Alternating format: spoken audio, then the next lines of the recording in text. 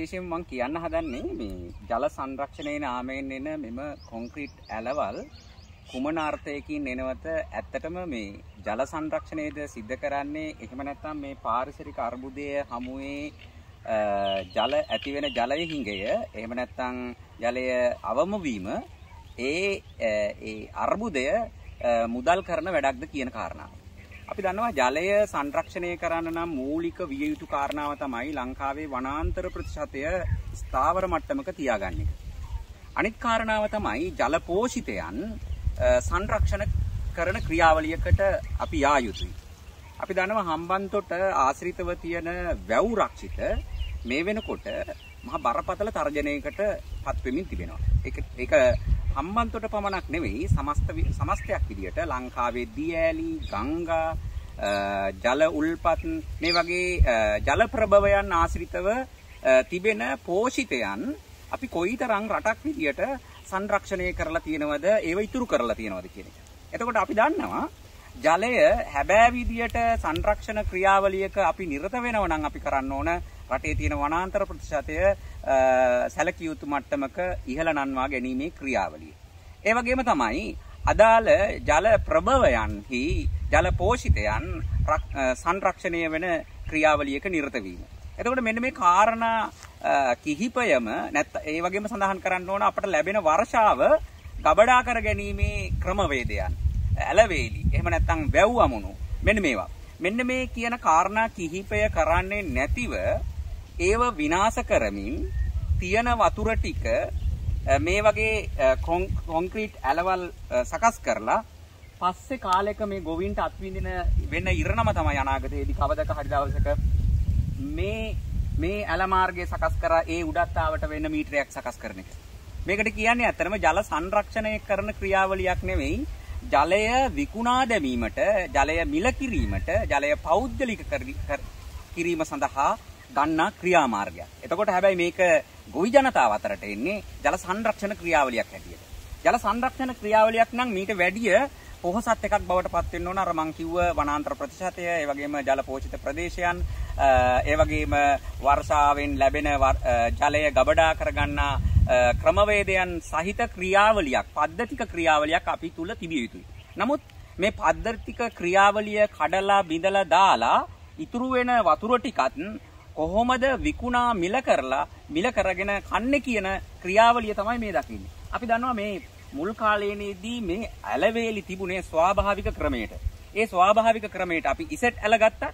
ඒ වගේම මේ වගේ පුංචි ඇලවේලි ගත්තත් මේවා කොන්ක්‍රීට් කරලා හැදුවාම වෙන ක්‍රියාවලිය තමයි මේ ජල ධාරාවට යම් සතෙක් වැටුනොත් ඔහු කවදාවත් මේකෙන් පිටට එන්නේ නැහැ. ඔහුගේ මරණය තමයි අත් වෙන්නේ. අපි දන්නවා ඉසට් ඇල වගේ ඇලවල් ගත්තාම එවැනි අලි මරණ වාර්තා වෙච්ච අවස්ථාවන් තියෙනවා. අලි මරණ විතරකුත් නෙමෙයි මිනිස්සුන්ටත් එහෙමයි ගොඩ එන්න බෑ.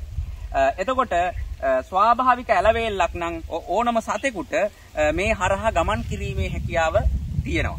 ඒ වගේම තමයි මේ ස්වාභාවික ඇලවේල්ලක තියෙන තවත් ඉතාමත් වටිනා පාරිසරික ගුණයක් තමයි ඒ ජලධාරාව ගලාගෙන යන්නේ ඒ අවට තියෙන පරිසරය පොහොසත් කරමි. ගහට සතුන්ට ඒ ජලයන් ලබා ගැනීමට හැකි වෙමි. දැන් මෙතෙන්ට යම් සතෙක් වතුර බොන්න ආවොත් එයා මේ ආපදාවටපත් වෙනවා ඇත්තම ගත්තාම. එයාට මේකෙන් වතුර බොන්න බෑ තවදුරටත්. ඒ බැරි වෙන විදිහට තමයි මේ ක්‍රියාවලිය සිද්ධ කරලා තියෙන්නේ. ඒ වගේම යටත්තාවේ තියෙන ලිං වලට, වගාබිම් වලට මහ පොළොව අස්වද්දමින් තමයි මේ ජලය තව වැවකට කුඹුරු කුඹුරු අස්වද්දමින් වැවකින් වැවකට ගමන් කරේ. එතකොට මේ ක්‍රියාවලිය අඩපණ කරලා මේ වගේ කොන්ක්‍රීට් ඇලවල් නිර්මාණය කරලා සකස් කරන්නෙම ජල සංරක්ෂණයේ නාමයෙන් ජලය විකුණා විකිණීමේ අරමුණ ජලය පෞද්ගලිකීකරණය කිරීමේ අරමුණ අරමුණ. එතකොට මේ ඇලවේලි අතර සැඟවිලා තියෙන කතාව ජලය පෞද්ගලිකීකරණය කිරීම. අපි දන්නවා මේ V shape හැඩේ කොන්ක්‍රීට් ඇලවල් නිර්මාණය කරමින් කුඹුරු යායවල් වලට ගොවි බිම් වලට ජලය සැපීමේ ක්‍රියාවලිය සිද්ධ වෙන්නෙම පෙරලා ජලය පෞද්ගලිකකරණය කිරීම ජලය මුදලට විකුණා දැනීමේ ක්‍රියාවලිය. ඒක නිසා ලංකාවේ තියෙන ජල පෝෂිතයන් විනාශ කරලා වනාන්තර විනාශ කරලා ඒ වගේම අහසින් වැටෙන ජලය ක්‍රමානුකූලව පරිහරණය කරමින් මුහුදට ගලා යන ක්‍රියාවලිය වෙනුවට අපි දැන් මේ වෙනකොට ඒ පද්ධතික ගුණය විනාශ කරමින් මෙවැනි ඇලවල් නිර්මාණය කිරීම ඇතුළේ තියෙන්නේ සැඟවිලා තියෙන කතාව තමයි ජලය පෞද්ගලිකකරණය කිරීම ජලය විකුණා දැමීම. ඒ නිසා මෙවැනි ඇලවල් නිර්මාණය කිරීම හරහා සිද්ධ වෙන්නේ පෙරලා සත්තුන්ට පරිහරණය කරන්න බැරි වෙනවා. ඒ වගේම මේ ඇල ගලාගෙන යන ප්‍රදේශයේ පුරා අස්වද්දමින් තමයි මේ ඇල ඇලේ ජලය තවවකට ගමන් කරන්නේ. වෙල් කුඹුරු අස්වද්දමින්. ඉතින් ඒකි ඒ ස්වාභාවික ක්‍රියාවලිය මේක තුලින් ඇන හිටලා තියෙනවා. එතකොට මේක ගොවි ජනතාවට පෙන්වන්නේ මේක ජලය සංරක්ෂණය කරන ක්‍රමවේදයක් විදියට. එතකොට ගොවීන්ට එකක් පෙන්නමින් මේ රජය මේ රජයන් විශේෂයෙන්ම ජලය විකුණන තැනකට ජලය පෞද්ගලිකකරණය කරන තැනකට පත් වෙලා තිබෙනවා. එතකොට ජලය මේ කොන්ක්‍රීට් ඇලමාර්ග ඇතුලේ සැඟවිලා තියෙන කතාව බවට පත් වෙන්නේ ඇත්තටම ජලය පෞද්ගලිකකරණය කිරීම. ජලය පෞද්ගලික කිරීමේ අරමුණ පදනම් කරගෙන මේ කටයුතු සිද්ධ වෙනවා. අනාගතයේ දවසක සිද්ධ වෙනවා ගෝවින්ට කවදක හරි කුඹුරු කුඹුරට මිලදී ගත්ත ජලය ලබා ගැනීම සඳහා. බීමට දැන් ගන්නවා වගේම මිලදී ගත්ත ජලය ලබා ගන්න.